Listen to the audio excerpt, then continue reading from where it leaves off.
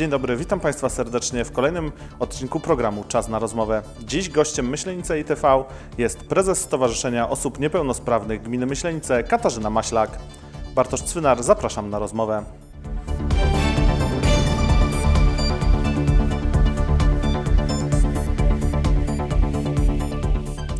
Dzień dobry Pani Prezes. Dzień dobry. Pani Prezes, e, jak to jest być e, rodzicem dziecka niepełnosprawnego? Albo inaczej, jak to było 5 lat temu być e, rodzicem dziecka niepełnosprawnego? E, No jest to trudna sprawa, e, ponieważ szuka się możliwości, gdzie takiemu dziecku zapewnić czas wolny, w jaki sposób zapewnić mu czas wolny, ponieważ dziecko, które uczęszcza do szkoły, ma zapewniony pobyt edukacyjny, e, poniekąd wychowawczy, natomiast e, czas wolny zostaje e, dla rodzica ja- e, jakby. Zdrowe dziecko potrafi sobie ten czas za, zagospodarować we własne, samo, potrafi wymyślić różne swoje zainteresowania, rozwijać je. Natomiast dzieckiem e, niepełnosprawnym trzeba pokierować i tu jest rodzic, e, rola rodzica e, właściwie największa, bo szkoła coś może zrobić, jednak nie wszystko. Jak to było w Pani przypadku? W moim przypadku było to w ten sposób, że ja szukałam e, jakichś zainteresowań, e, czym e, mój syn się interesuje. Szukałam e, instytucji, które mogłyby nam pomóc. E, W tym celu e, próbowałam e, kontaktować się ze stowarzyszeniem, ponieważ wiedziałam, że istnieje takie stowarzyszenie w Krzczonowie, więc próbowaliśmy tam nawiązać kontakt. W późniejszym czasie próbowałam również nawiązać kontakt ze stowarzyszeniem e, Tęcza w Krakowie, jednak wszystko to się okazywało, e, było związane e, z czasem jakby, no bo dojechać do Krakowa, e, tam e, być z tym dzieckiem na jakichś zajęciach, czy tak samo jak e, do Krzczonowa też trzeba by było dojechać i jednak tego czasu e, dużo się traciło jak, e, na samą podróż. Stąd się e, wziął pomysł, stąd się wzięła idea założenia stowarzyszenia To z- e, w Myślenicach? Między innymi, bo ja cały czas wydawało mi się, że tu czegoś brakuje i była taka we mnie taka chęć, y, taka y, jakby, y, no, żeby coś tu powstało takiego właśnie dla dzieci, które chodzą do różnych szkół, a ten czas wolny mogłyby gdzieś spędzić w jakiś sposób inaczej. Jak, jakie były początki stowarzyszenia? Jak doszło do e, założenia e, e, tego stowarzyszenia i do poznania tych osób, które razem z Panią te, to stowarzyszenie zakładały?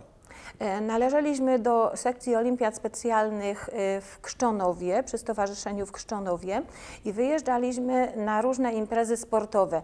Na olimpiady, na meeting lekkoatletyczny w Krakowie. E, Zapraszani byliśmy również do Harbutowic na meeting Tadeusza Piekarza i właśnie w 2011 roku będąc na meetingu w Harbutowicach, jeszcze właśnie z sekcji olimpiad specjalnych Krzczonów, okazało się, że tam e, zebrały się na tym meetingu e, jako grupa Krzczonów, zo- zebrały się osoby z Myślenic. No i wtedy właśnie to był taki, taki, taki impuls, taki mocny impuls, że przecież jeżeli my jesteśmy wszyscy z Myślenic, to dlaczego w Myślenicach czegoś takiego nie ma, że my nie możemy mieć własnej komórki?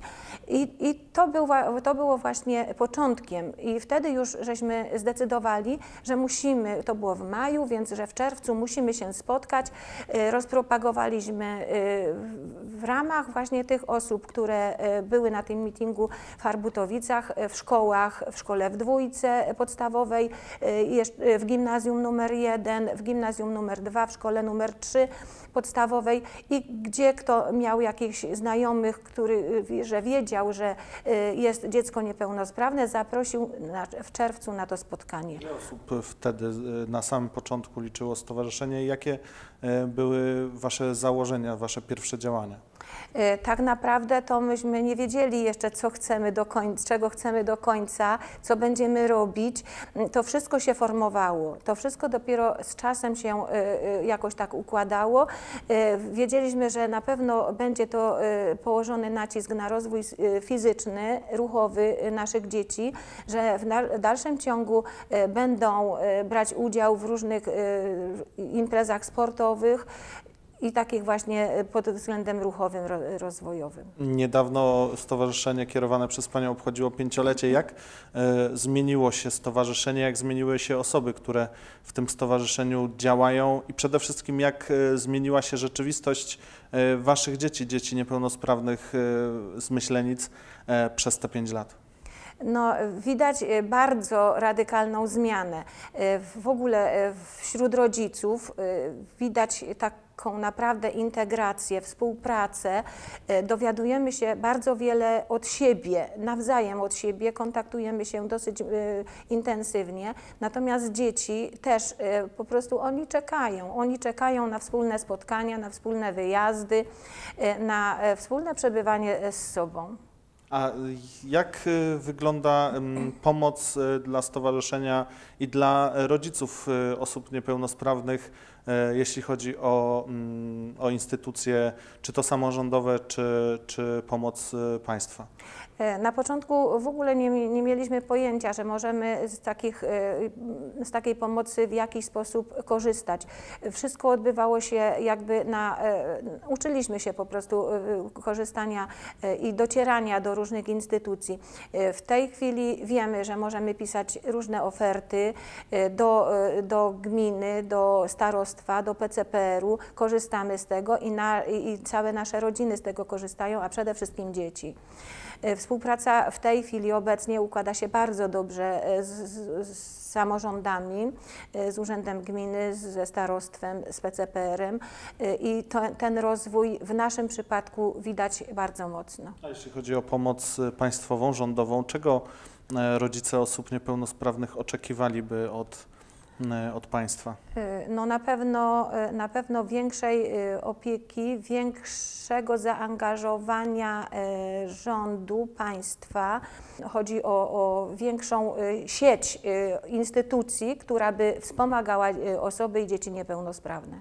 E, Jak wygląda taka codzienność stowarzyszenia i codzien, codzienna praca z waszymi dziećmi, e, która y, owocuje tym, że, że te dzieci są coraz bardziej zintegrowane e, z tego, co obserwujemy e, ze środowiskiem tutaj, e, choćby, choćby czy, czy powiatu? No przede wszystkim wychodzenie tych, y, z tymi dziećmi wszędzie, Y, korzystanie ze wszystkich możliwych y, imprez, bo wtedy widać największą integrację.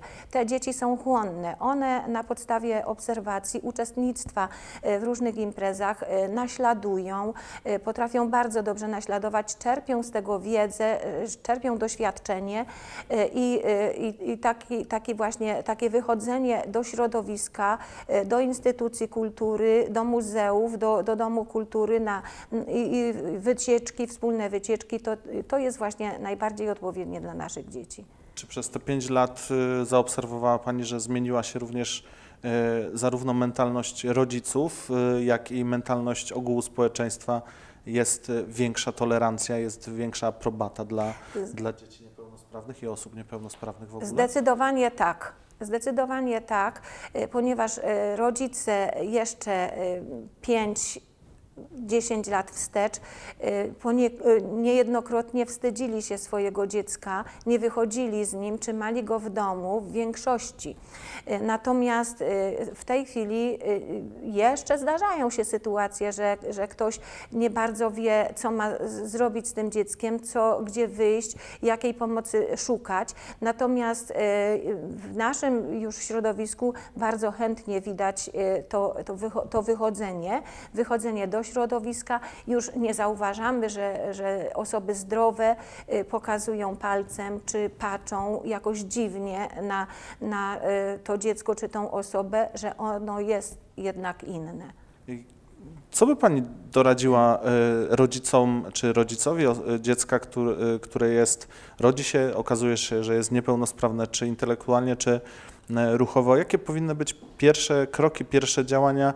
Gdzie najlepiej mm, się zwrócić? Co robić w takim przypadku? E, Przede wszystkim rozmawiać.